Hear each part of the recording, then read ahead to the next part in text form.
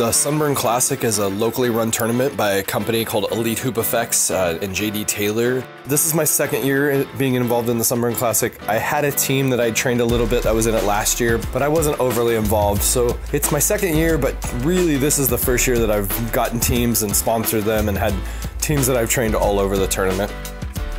I was able to sponsor three teams this year. I had a young sixth grade team of girls, a eighth grade team of boys, and an eighth grade team of girls.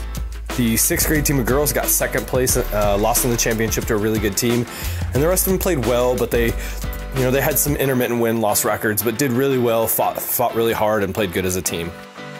The reason I enjoy sponsoring and working with the community because I really just love to give back to my kids. The kids that come and um, train with me a lot, it's something that I can do for them. I'm able to give them a nice jersey with their name on the back. And I also kind of believe you can't expect anything in life unless you give it. So when I give and I sponsor, I try to give the kids something they can be proud of and something that they can wear, and it kind of adds to the value of the event for them. Um, the kids that come to me, the, I try to get a family environment in my academy.